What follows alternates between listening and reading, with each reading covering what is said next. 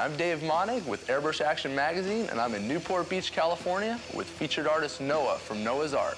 Noah's going to be showing us how he creates his larger-than-life portraits on canvas. Over the next 60 minutes, he's going to take us on a complete thorough how-to of how he creates these fantastic images.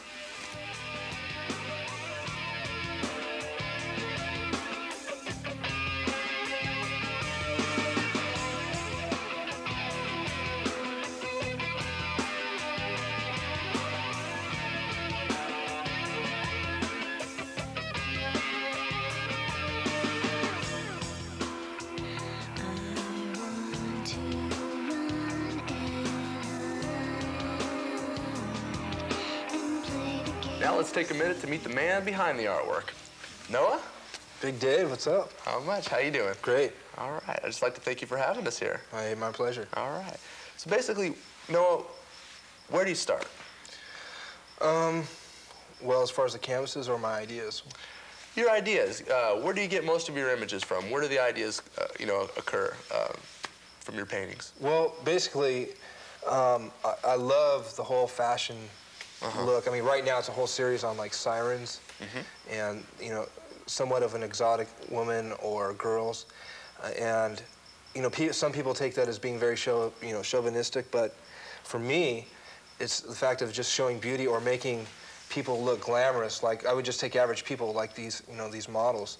Um, and I got those ideas when I'd be out on the road. Here I am driving up to LA or something like that, and I see all these large billboards. I love working big. I don't like you know working really small and constricted. Mm -hmm. So um, the the images of, of faces. I was into portrait work. Started there early on. You know, doing them on on uh, t-shirts actually. And I decided, you know, make a little bit more money, take them to canvas. So the ideas really came from my head. I don't want influences from other people or other artists.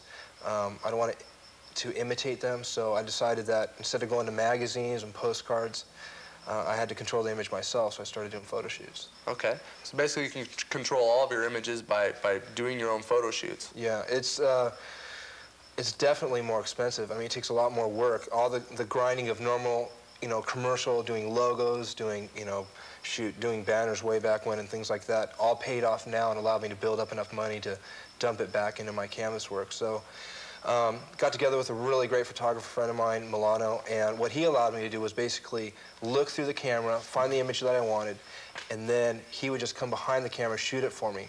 The great thing was, was I would be able to sit and you know, watch over his shoulder as he was doing all the exposing of the film. And I could, you know, say, bring it up, drop it out. And what that allowed me to do was have total control over everything, right from the start. So hopefully, and we, there was some beginning pieces that I did black and white um, of shots out of magazines just to practice. So I do have some of those still hanging around, but everything now is images that are pure Noah, no, nobody else, and I own everything from the very beginning. All right, fantastic. What kind of canvases do you use? Um, I use a 48 by 60 inch uh, stretched box canvas. It's pre-made, made by uh, Art Alternative. Uh, I really like it. Um, it's, it's really rigid. It's it, it, can be restretched. It can pop out the wood framing in the back. You see, that's very important. Oh, absolutely. Obviously. I mean, you can buy them to where they're they're thin, uh -huh. and so the client can frame them if they want. But I go with a gallery ready is basically what it's called, which you can just hang right on the wall. Right. All right. How do you prep the canvas? Um, I take gesso. The the thing is uh, that a lot of airbrush artists don't know is that you need to kind of dilute it where it's kind of a milky formulation. Mm -hmm. Spread that on really thin. I do about four or five layers, which allows it a nice transparent buildup. Mm -hmm. And um, I sand in between coats with a really, really light grade sandpaper. Okay, so we got our reference material, we got the canvas, we've got it all sanded and prepped. How do you get those images onto the canvas now? Um, I project it. A lot of people think, or I've had like students come up to me and um, people who aren't artists, and they think, oh, you're projecting it? Well, that's cheating. Mm -hmm. um, a couple things on that note. If I'm going to have a client paying me to paint their kids or something, you know, a couple thousand dollars or something like that, it better look like their kids. Right. There is a lot of tricks to it, and you can really mess things up in projecting. One is when you project it, you got to make sure that you have that thing lined up. You can uh -huh. distort, distort it, and the face will stretch. Some artists use that to their, their advantage um, and create that into their style. But basically, I really, really try to line that thing up perfectly. I go up, I go down, side to side, and then um, I'll I'll take a light pencil, like a number two pencil. Some guys like to use charcoal. Um, but I go in with the pencil, lightly do it. And all you have is after you've turned on the lights, all you have is you can barely see an eye. You have the placement of everything. Right. And there's tons of magic in just knowing how to work an airbrush to get that whole look from that point on. People think, oh, projecting, that's, that's a cakewalk, that's easy. It's not. It, it's it's just as hard. All that gives me is placement on such a large surface. Right. So you would definitely definitely recommend projecting the image on Yeah, I, I, mean, I use a quick draw uh, Copycake, and people think they got to go spend like hundreds of dollars on these projectors. And this little guy's a six by six format, and I'll take my photographs, reduce them down on a laser scan. That's another nice thing because it's not copyrighted; it's my own image. Right. I take it to a, a place that'll do a laser print of it, reduce it down to the size, mm -hmm. put it in the projector, transfer it up there onto the canvas, trace it, then I look at that photo and I, and I go ahead and airbrush. But never use the one that you use to project okay. as your reference for painting. Otherwise, you'll get wrong values. I always use the original that I have. All right, great. So I have a big library. Great point. What kind of airbrush do you use? Um, an Iwata uh, HPBC, an Iwata Micron, -huh. um, and, and an also an RG2. RG. And these, yeah, these are top of the line. I've tried a lot of others, and when I was doing T-shirts, I was using other kinds of airbrushes. But as soon as I went to the canvas work, it, I mean, it's now to the point where you cannot see one little granule of paint. It doesn't spray out or, or, or feather or give you mist, you know, misted little deals on the on the edges. What what happens now? It's so precise. It was like going from a Toyota truck to a high-end Mercedes and it's uh, it was almost too good, too precise for me. So it took some some time warming up to the new brushes, but the Iwatas and and uh, the paints from Medea are just unreal. Okay, so it's not only the preparation of the canvas, but also the equipment, the airbrush that you're actually using. Absolutely. What kind of paint do you use? Uh, I use Comart. Comart from Medea. Medea makes uh, Comart illustration paint. I prefer to go with the transparent black. Everybody always asks me, so how many blacks or grays do you use? And some people think that the old master's theory is using all these different grays. Well, that's fine. If sometimes, depending on the coloration of the photo, if I want a little more antique look, I'll take it with uh, the smoke gray. And I don't use any opaques, transparents. And the, the, the good thing about that is it's very forgiving. Mm -hmm. What happens is I'll just layer it up slowly, you know, just time after time after time. And what is also beneficial of that is because of the layers of the gesso on the canvas, that's transparent to begin with.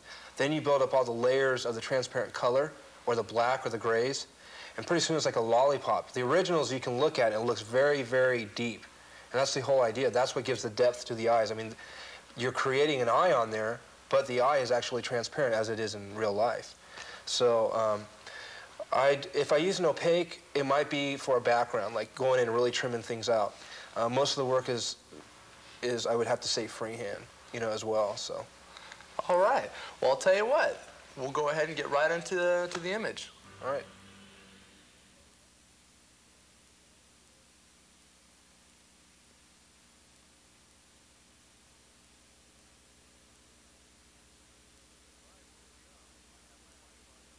All right, well, here we are. I have my Micron airbrush here. I have smoke gray filled inside, which is transparent. I'm going to go over to the reference photo right now. And you can see here, we have the whole image basically on one piece and we have the whole image here on the canvas. What I'm going to do is I'm going to come over here and we're first going to start with the eyes. So I take my image, plop it on right here where I can always keep referring to it and looking at it. Right now my main focus is the eye source. You can see clearly the white highlights and the shadows that are happening in here so that's our, our uh, trick that we need to pull off. If we don't hit these highlights and center everything perfectly, it's really going to look bad.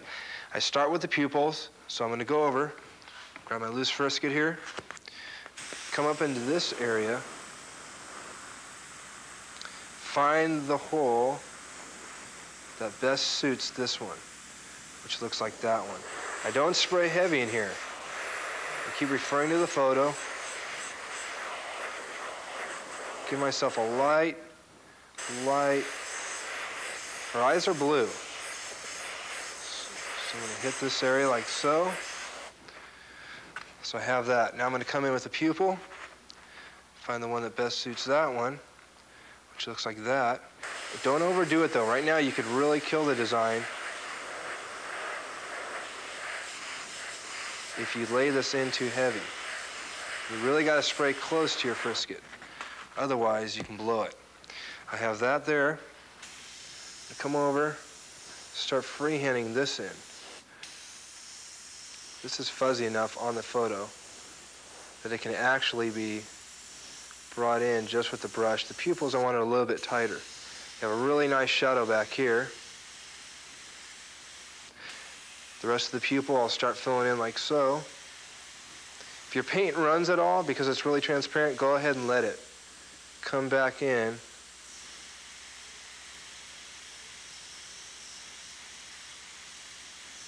And layer it up as it dries. Everything at this point has to be very, very light. So I'm just bringing in the slightest, slightest little shadows. Too much, and you will definitely ruin this design. That's why this airbrush is so good, because it's such a fine, fine spray, it doesn't give me really any problems at all. Go back in, hit the pupil a little more. Still looking at our light source and hitting every little detail. Definitely want to hit this detail here. Now you can hit this with a loose frisket if you want, but every picture is pretty fuzzy, so you don't want to make it too crisp, otherwise it doesn't look like a photo. So go ahead and keep spraying. obviously this whole area, oops, that whole area is really dark, so I have to portray that somehow. Now this is just a smoke gray. I'm gonna go back in with the darker, the darker uh, transparent black. so right now I'm really playing off shadows and values. This crease underneath her eye.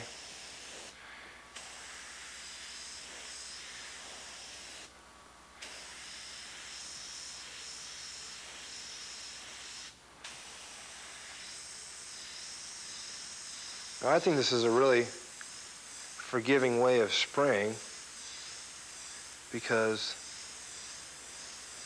you can just keep layering up all these little elements and not worrying about so much mess up. So I'll go back over all this with uh, the transparent black. But for now,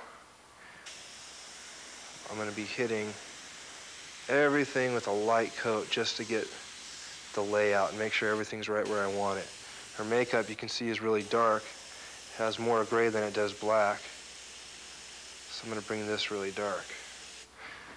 Step away a little bit, take a quick look, darken up this area. You stay in one place too long, it doesn't look very, very fun. So I'm going to be moving around here fairly quickly. Make sure that you imitate all the hairs as they wrap around the temple here. And hit this as slight as possible. Remember, this is just the smoke gray.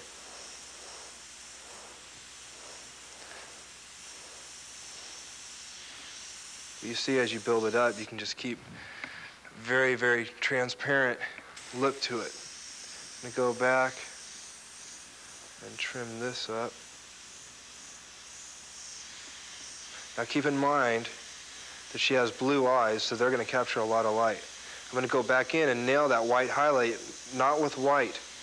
It's not good to use white on canvas, I think, if you're doing black and white portraits, because um, it's a difference of color no matter which kind of white you use. So I go back in and I pick that with an X-Acto or an eraser.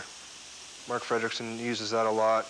Stephen Driscoll uses it a lot. I, I tend to think that it's a very good way of making things look natural.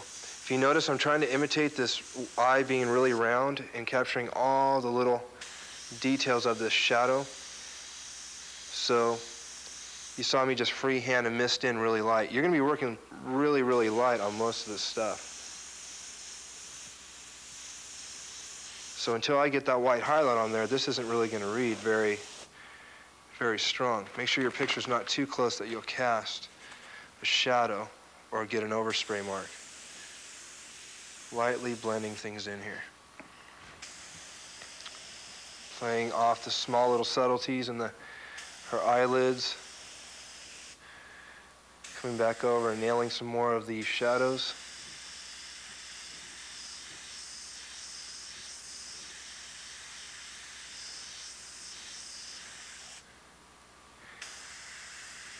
More light shadows. Remember, black's to be coming in over the top of this. Now, the reason I'm using transparent smoke is because this photo has got a lot of lightness to it. I mean, the whole pic, there's not really one spot on the whole picture that's actually um, white. So even after I lay the white highlights, I'm going to go back in and definitely hit some, uh, some gray over the top of them. Make this area sink back a little bit more. You see how I keep moving all over from place to place? I think that's a really, really good way of doing it. If you stay in one place too long, uh, you can definitely overdo it. And that's the easiest thing to do in black and white. So right now you can see the light's captured right here. Boom, falling over her brow, her eyelid, touching the bottom part of her eye. so I'm going to start hitting some of these lashes and building up here. This is just a foundation for the transparent black. So there's one eye.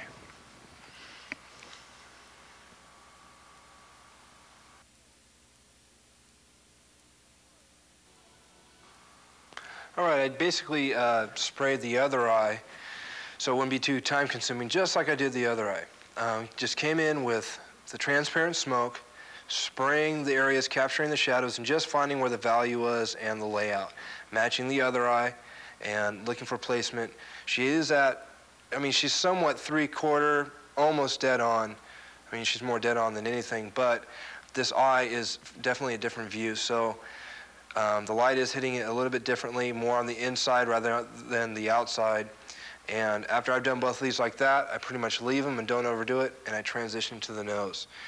So in the nose, the most important area is, I think, the shadow underneath and then the highlight underneath. So what we're going to try to accomplish here, and the canvas is going to kind of wobble as I hit it, but I'm going to build up and start first with this reflection that I see underneath, which would be right underneath here. I can't overdo this because I want there to be a good bounce. So I'll just give myself just enough here on this little area and can come back on the other side and this is a really crucial area. There, now I have that. That's fine. That's good enough for me. So I'm going to come in and slowly, working really, really, really close to the canvas. The good thing about using the smoke gray is I can layer all this up. It's still not going to get as black as the, uh, the darkest areas that I'll be using with the transparent black. Tons of dagger strokes or uh, rat tail strokes. And um, what I can also do just come back and lie, you know, shadely, yeah, shade lightly, as I should say. and look at that nose, there still is subtleties in the shadow. So I have to definitely, definitely play those off. This is about the darkest area on the right side.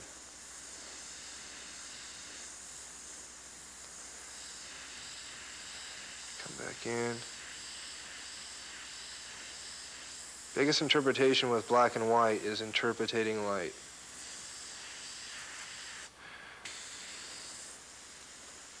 Nose. You can obviously see I haven't had any clogging problems. Every once in a while I get a little bit of tip dry, but frankly, this brush works perfect. Coming in, I'm hitting the nostril now.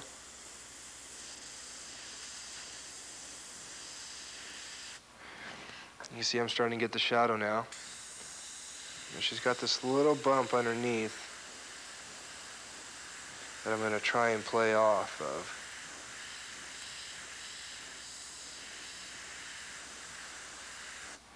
And once the shadow gets sprayed, it's going to very much give the illusion that there's a reflection coming up underneath.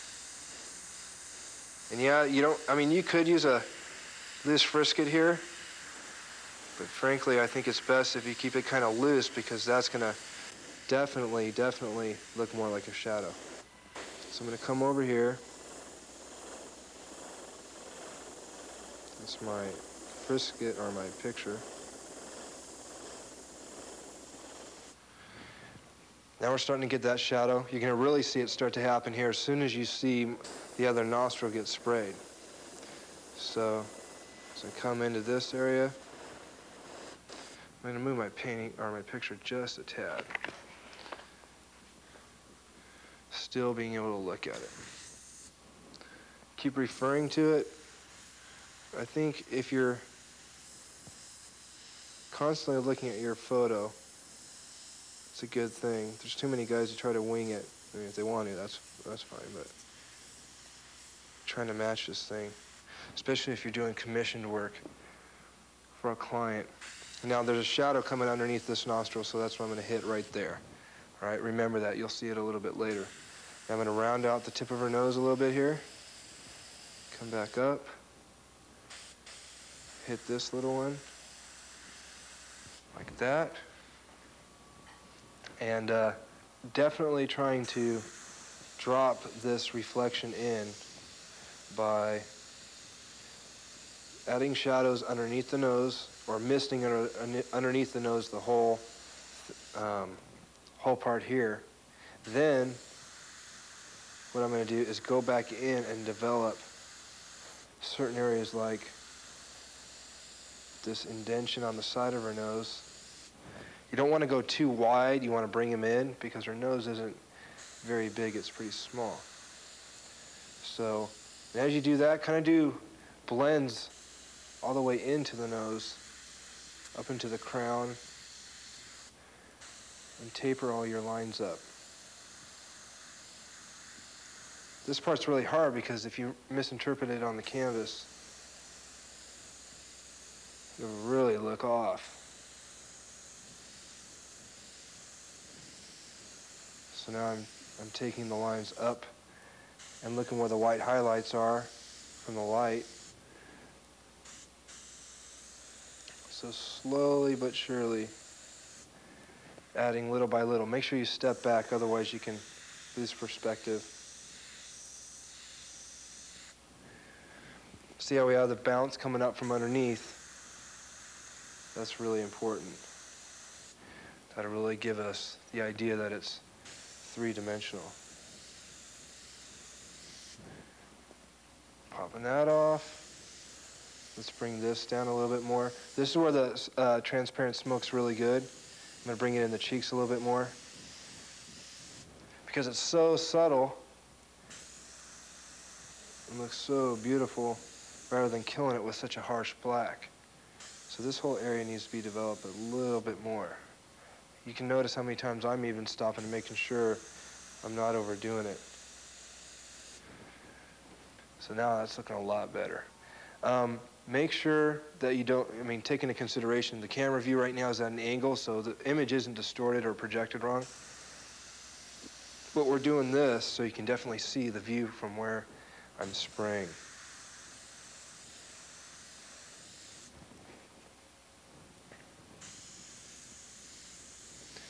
Taper that up a little bit more. Blend that line off in the cheek. What's so cool is that the uh, transparent black makes the gray look even lighter. So now our nose is looking really nice. Step off, take a look, blend that. Okay, so I'm gonna leave that for now. We're just about finished with the nose here. And um, I'd say that looks about good to me with the smoke gray. And now we will basically go to the lips, the luscious lips. All right, when we first started the lips, you noticed that when I was projecting it, I made a trace of the lips and then I cut them out. So here's what I do in order that I can get somewhat of a crisp edge, but not too much. So I spray a little adhesion, about that much. Let that dry off a little bit. Don't want it to be too tacky, just enough to hold it on there so it won't blow away. So I position that to where I need it, like so. Now this is just for a hint of an edge. So I come in here, lightly spray around the edges, like this. Not overdoing it because it's really a facade of how dark that is in real life. See, that's almost too dark to begin with, but that'll work. Throw that out. Then you come in, I'm gonna hit this edge of the shadow. Now this won't be too dark. I will over, um, paint when I come in with the transparent black. But right now I'm just gonna get the idea of how I want the shadow to go underneath their lips. Don't worry about your paint moving around at all. It dries really quick and then you can just come back over the top. So I usually establish how dark I want this. And while this is drying, I go and I model the lips a little bit more.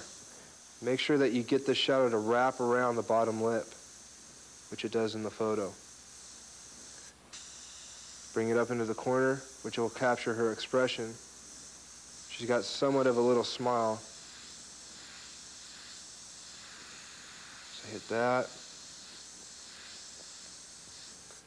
Look at the other corner. It's a real crisp shadow. If I want to soften that up in the edge, I'll pull back, hit that.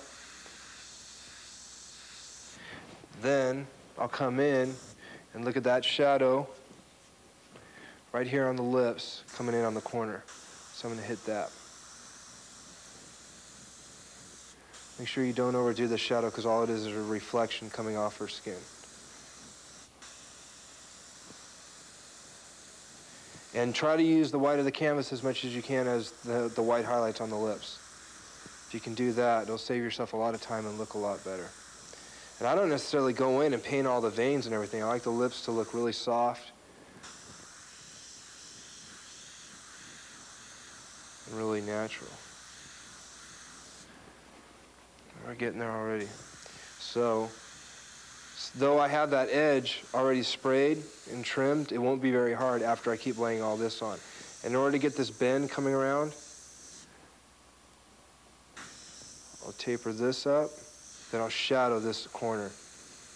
And that'll make it look like her lips sink back into her face. Same thing on this corner. And as for the shadow underneath, I'll hit that soft, trimming up at the very top. They're pouty on the bottom. So I'll trim this hard, that, and that follows the line to the other side. So that shadow's kind of lining right up.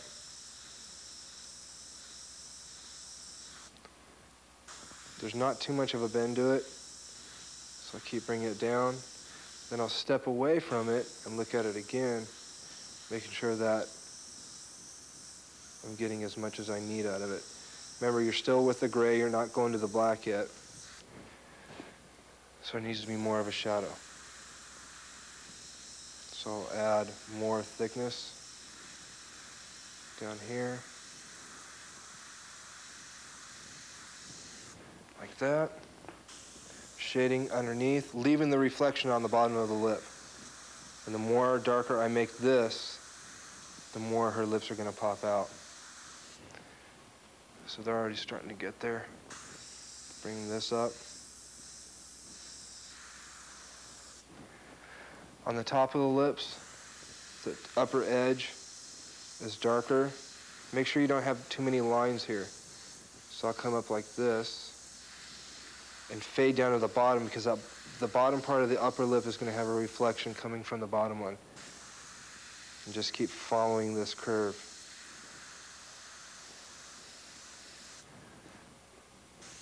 This one's actually darker.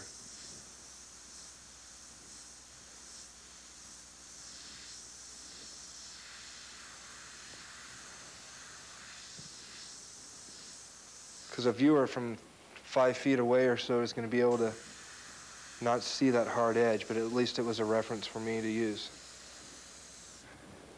Mostly everything else we'll be able to do with the, the transparent black. I'm going to define that line in the middle a little bit more. By doing something like that. And then there's tiny little lines here.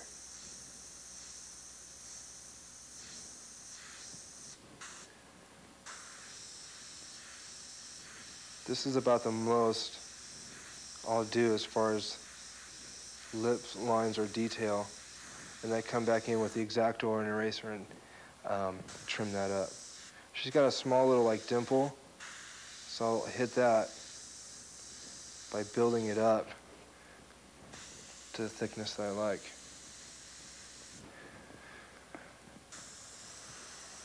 There's lots and lots of little different fades in the lips, but for the most part, I like to pop out that upper one and the bottom reflection on the bottom lip.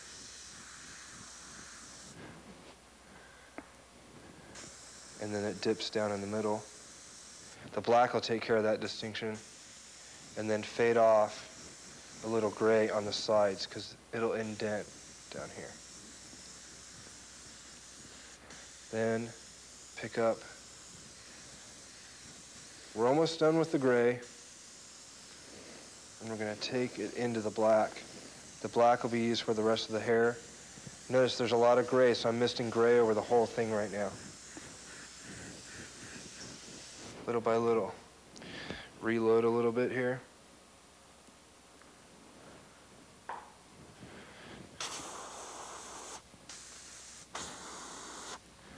Then come back in, hit this crease, and then taper this shadow down. These are really big dagger strokes right now. Taper this cheekbone in. And then I'm going to trim everything else up with a, with a French curve, which allows it to be a little crisp, but not too crisp. Right here is where you want to get the bounce coming underneath, underneath her um, chin.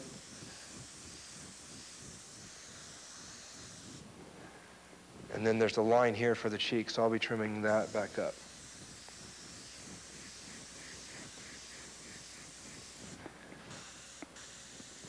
It's lighter on this side, it's not as harsh. Just a little bit of a bounce.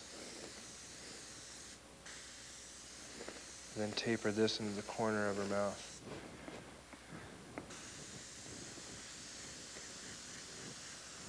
Remember, the white of the canvas is still going to over-dominate the face.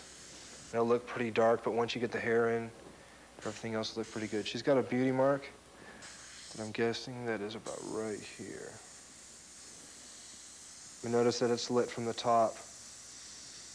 And it's got a shadow, so you kind of haze that underneath it. I kind of go back over any areas that I missed with the gray and develop those areas just a little bit more before I get to the black. Making sure I haven't missed anything.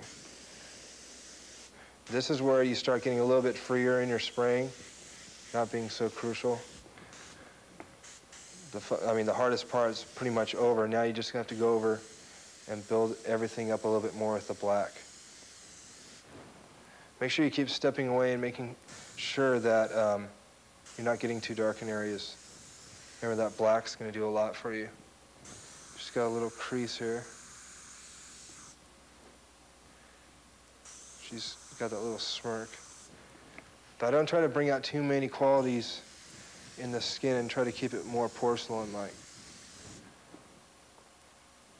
And then I'll be switching actually to the um,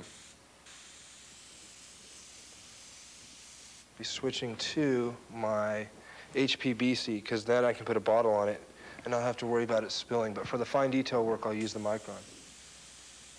Thicken up this a little bit. Add a little bit more shading here.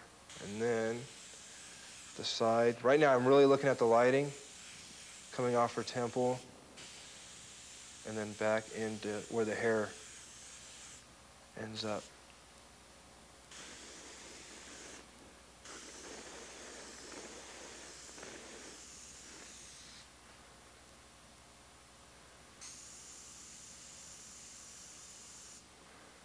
Everything else can be taken care of with the black.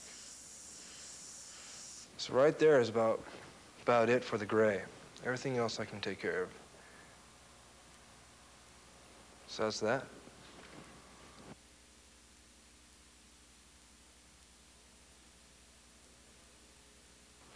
All right, what I want to do here is on the underside of the chin, there's a big shadow, and you can see that line right here. And I'm going to play off of that and pop her face out more. Everything gets out of focus towards the bottom. What I'm going to do is I'm going to grab this French curve, find out where I can lay this, which looks about right here, and I have the shadows on the face I've already done. This is going to be kind of hard to see for a little bit.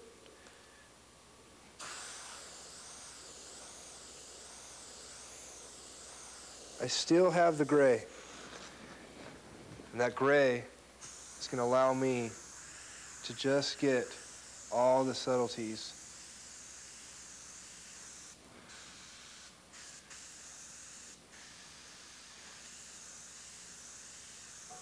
And I'm using the uh, HPBC.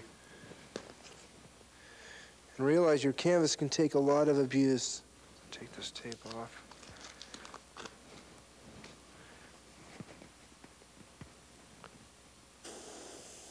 Do the same thing down here.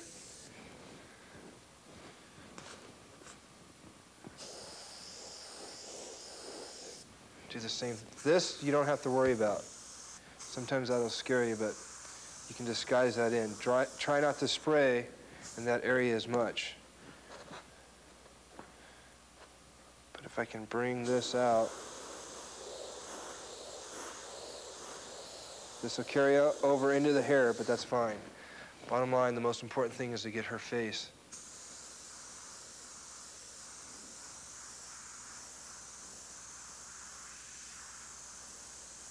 That's really going to sink back there by the time I'm done with it.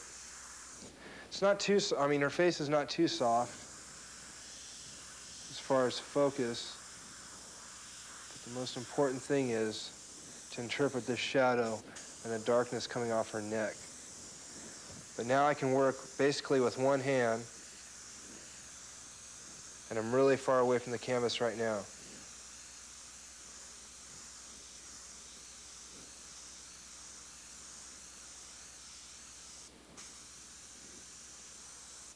Okay, it's still pretty wet. What I'm going to do is come up in this area, blow some, some air on here for it to dry a little bit. and build that up. While that dries, I'll come over here and build this up.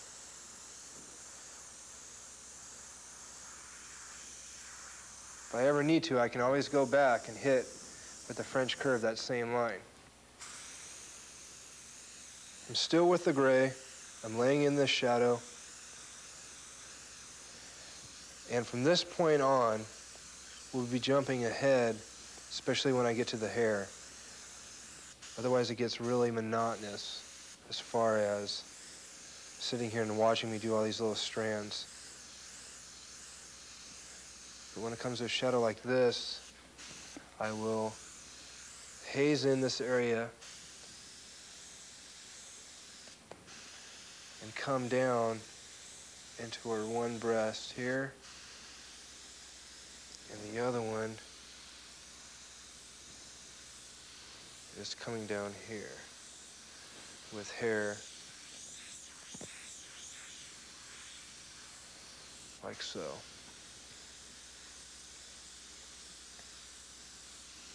This all has gray in it.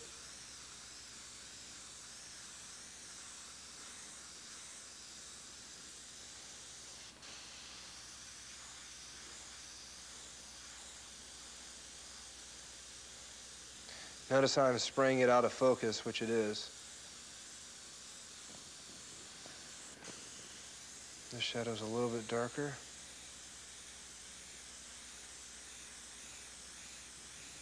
This is still the gray.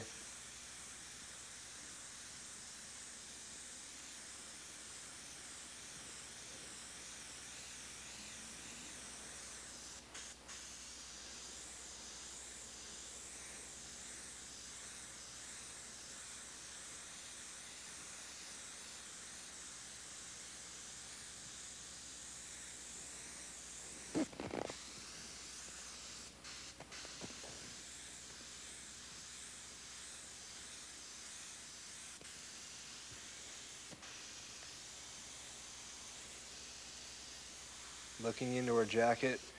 I'll trim this area, give myself a little bit of value down here. And this is just going to fade off into the white canvas. This, this piece won't necessarily have a background.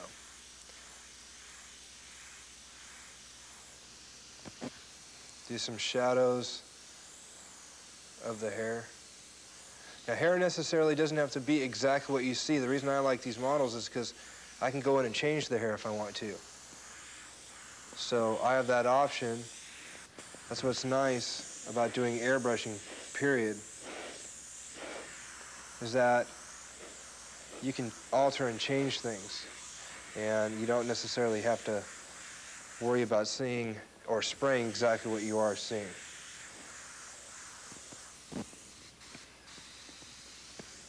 The hair down here, accentuates her one breast. That's still pretty wet, so I'm gonna let that dry.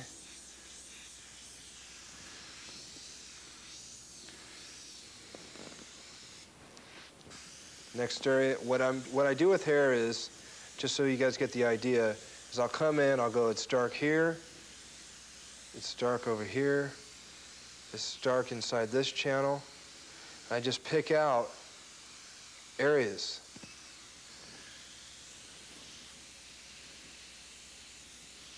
The hair, you kind of move around quite a bit.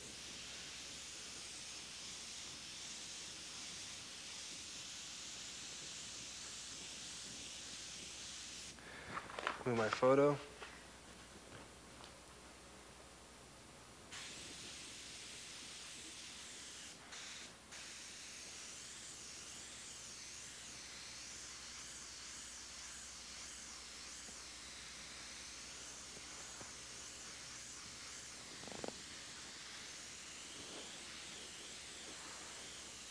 Basically, it's like underpainting. And a good point to make is that uh, my, my friend uh, Steve Driscoll made a good point in one of his articles that you painted, if you're painting a color photograph, you paint the first color exactly as if that's the only color you're going to use. In my case, this might be the only color I'm going to use, period. So you try to do as much as you can with just each color. And I think that gives you a better quality.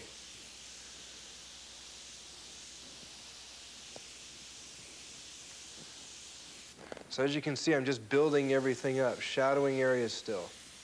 Not really going into detail, but just finding out placement of everything.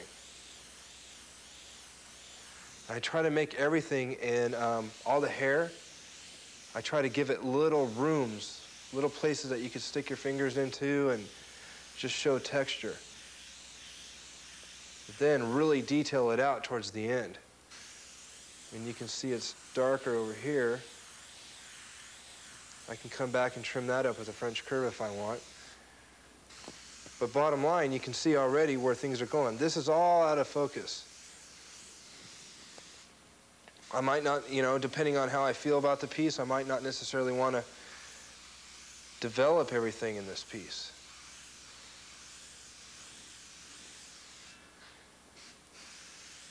This area is really accented. And if I was doing color, I would put clear between each coat of color, which means I'd, I'd use a clear pigment, which allows everything to be transparent and build up. Because when light captures it, it'll really make it beautiful.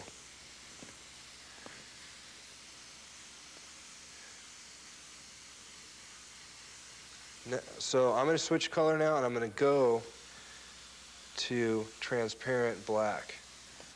So that's where I'll be when I come back.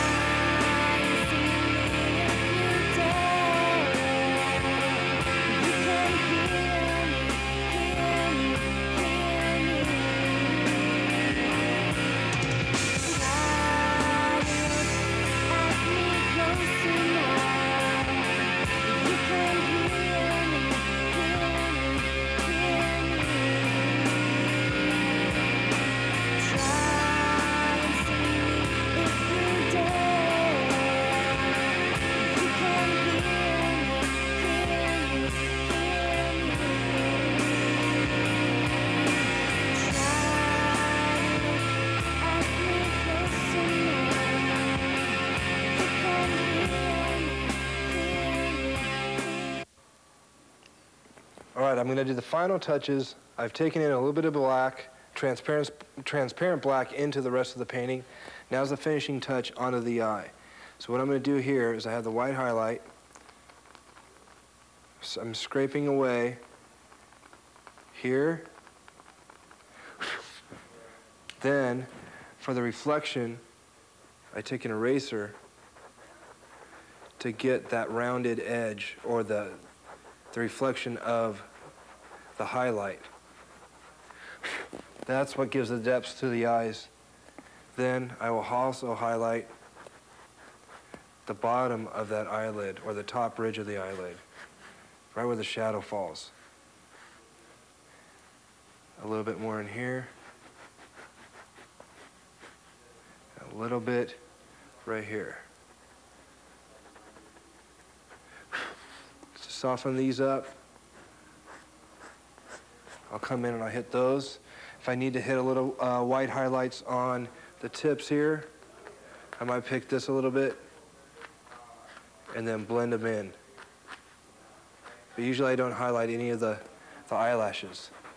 I just smear that in. But that is it.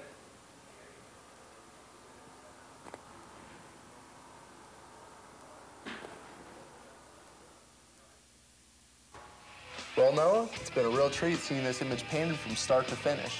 I'd like to really thank you for having us here. You bet. Thanks for coming by. I'm Dave Monning for Airbrush Action Magazine. Thanks for watching.